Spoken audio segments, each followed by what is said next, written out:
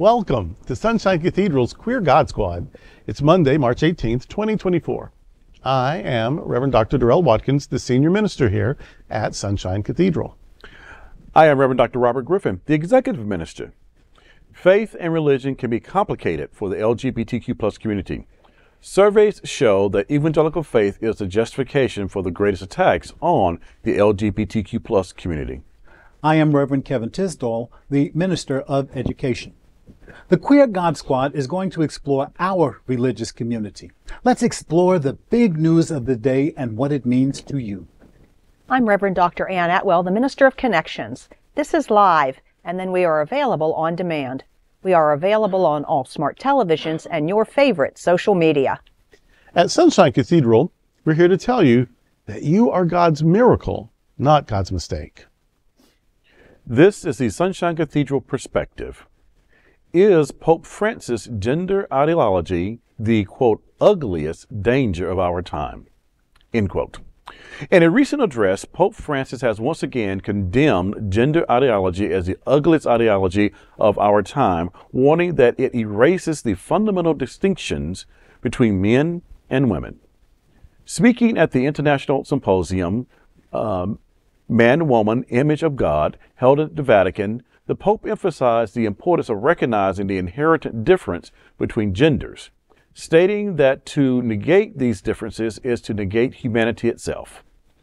Organized by Cardinal Marc Ouellet and the Center for Research in Anthropology of uh, Vocations, the symposium aims to delve into the anthropological dimensions of the vocations. Pope Francis, who was battling a cold, delegated Monsignor Filippo Ciampanelli to deliver his address on his behalf.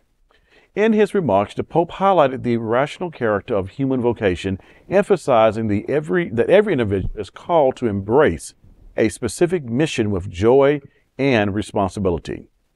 He underscored the anthropological truth that humans are created in the image of God and possesses an innate desire for eternity, eternity and happiness. Pope Francis also stressed the importance of prompting, promoting a more effective circularity of vocations within the church, including lay vocations, ordained ministers, and consecrated life to the foster hope in a world overwhelmed by despair. In closing, the Pope urged participants to courageously seek God's will in their work. He emphasized that a living faith requires active discernment and a willingness to take risk. No truer words have ever been spoken.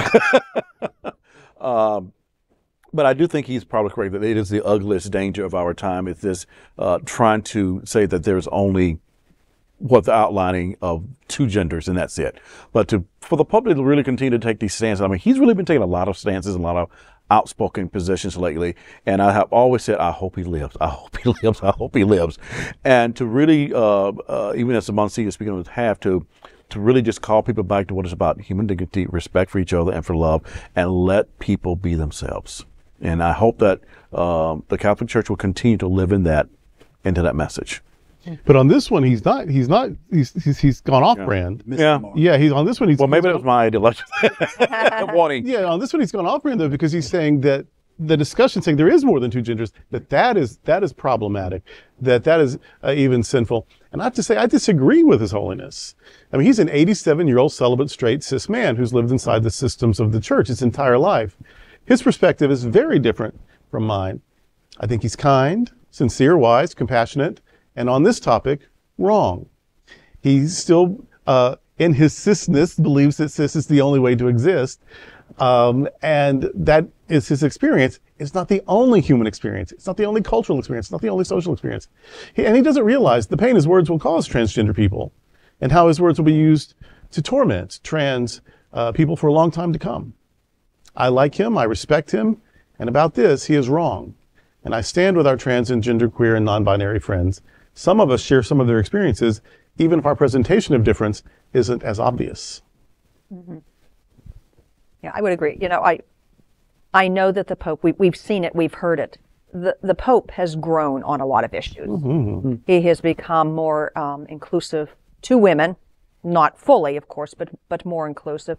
He is more welcoming to uh, the L, apparently the LG community, um, but excluding a number of our trans and non-binary folks. So my hope on this is truly that maybe he will um, talk to some folks, um, do his work, and maybe grow on this issue as he has on other issues. You better hurry. Yeah, really fast. 87.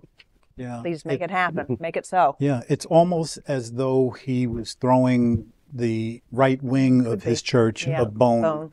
Saying, you know, I, I believe in a lot of things that you don't, but I'm going to give you this one. Yeah. And hopefully, as we're saying, There's at still a this human cost to that, though. Yes, there really as we're saying at there this really is. table, maybe he will realize the pain that he continues to cause so many people within his church and beyond, because that kind of rhetoric, unfortunately, gets people killed. Yeah. Yes, it does. It, it, it's not just a matter of policy. It's not just a matter of polity. It's a matter of survival for a whole lot of folk Oh, yeah. who don't identify the way he thinks we're supposed to identify. Mm-hmm. At 87 years old, supposedly celibate for all of his life, I don't know that he's the person that we want to go to for ideas about biology and, and things that Right. Yeah. he never learned, never was never taught. So Right. come on, step back. And there's stuff that's been poured into his head his whole Well, life too. Like, absolutely. like Jesus, Jesus is a dude, and the church is Mrs. Dude, is Mrs. Jesus, the bride of Christ. Like everything is set up in these binaries. Jesus is mm-hmm. Jesus is the Lord, and and and Mary's the Queen of Heaven.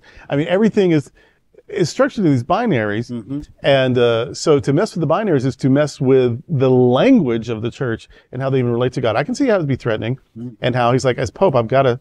You know, I've, I've got to defend the church about, and the church line. is binary, you know, and uh, but meanwhile, not everyone is though. That's right. And uh, if you're going to make it be, like even the discussion about it is somehow toxic or bad or evil, you're, people are going to get hurt. People are going to get hurt. And let us not forget that forced celibacy is an alternative lifestyle. Yes. Uh, it's not. It's not in the mainstream of things, it ain't natural. and it ain't natural. Mm-hmm. And yet, uh, you know, you're pretty highly regarded, Your Holiness. And so uh, let, let, let's have some grace about that sort of thing. That yeah, some things don't look like everything else, Right.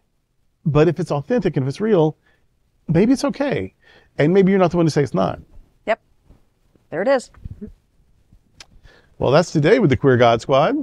We want to thank you for joining us. We're here daily at 3 to have some fun and to discuss what our LGBTQ plus community is talking about. Sunshine Cathedral is the world's largest progressive queer church. Progressive, queer, and God are words that naturally should go together. And we are in this together. Remember that. You are God's miracle, not God's mistake. Until next time, we are the Queer God Squad. Goodbye.